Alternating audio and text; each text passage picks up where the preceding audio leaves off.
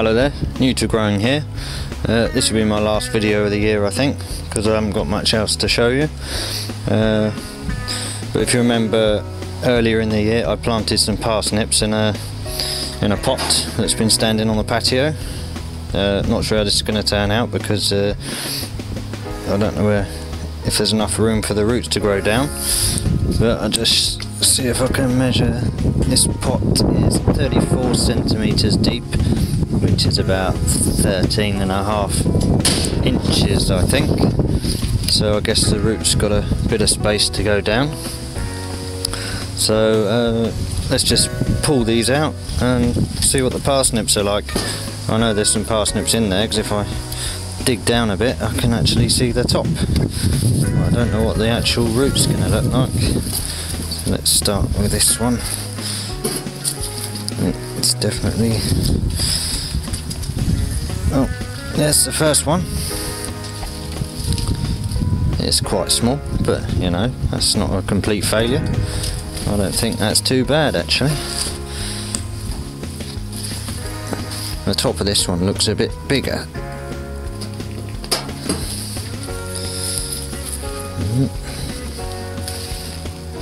Oh, it's definitely a bit bigger that one.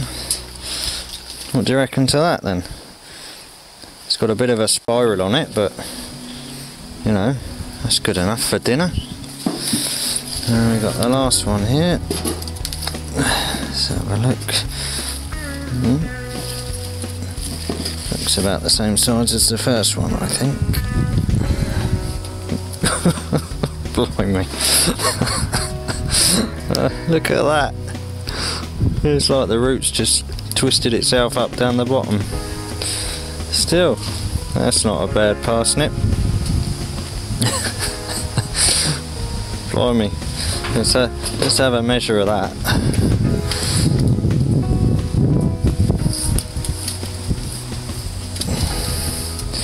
That's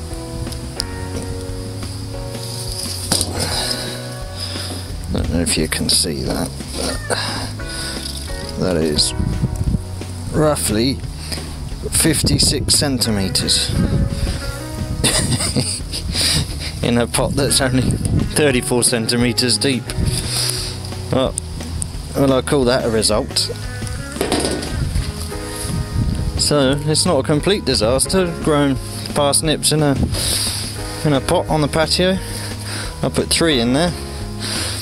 That's enough for a couple of meals there, I think. Um, anyway, thanks for watching. That's it for now.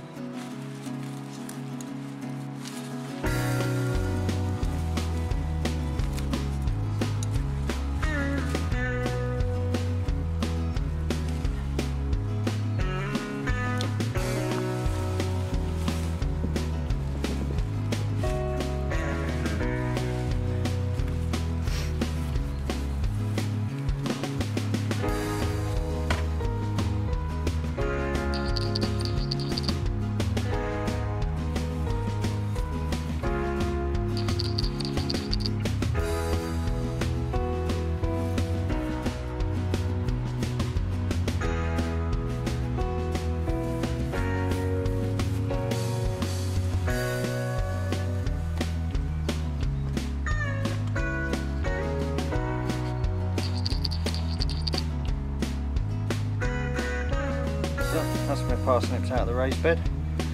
I've done really well this year. Anyway, thanks for watching. Bye for now.